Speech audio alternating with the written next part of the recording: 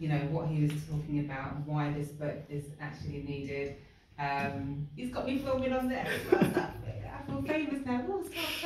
Um, but honestly, guys, it's Men's Mental Health Month, and I just really wanted to kind of shed some light on issues that men and the issues that men go through. So bear with me. I'm in the studio and I, and I forgot to put something on autoplay, but yeah, it's all good now.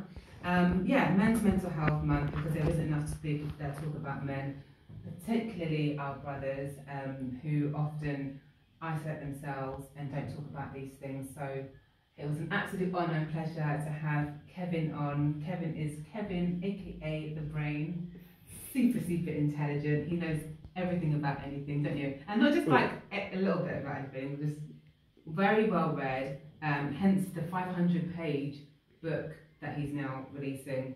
July the 8th, get your tickets on Eventbrite. Um, just Google Who Helps the Helpline and he's got a website there.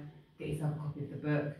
And uh, Toya, oh, I've got to shout out some love to Toya. Thank you so much for your feedback from last week. Hope you enjoyed the show. You said deep as always. Yes, we like to go under the surface of things.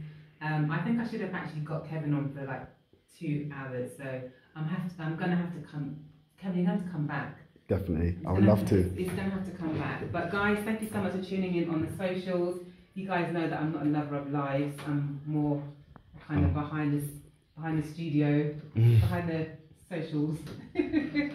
but yeah, much love, guys. Thanks for tuning in. If you want to listen to it again, then you can go on to colourful.com forward slash shows forward slash Iola and get the replay on there. All right, guys, much love. Have a blessed rest of your day.